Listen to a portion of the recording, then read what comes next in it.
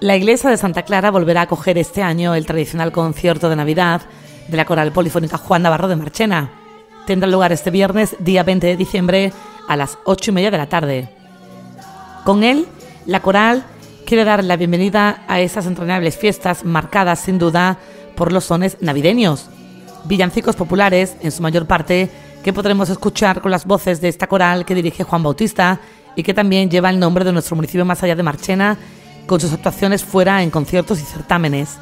La entrada al concierto de Navidad es gratuita y se invita a toda la ciudadanía a acudir a él.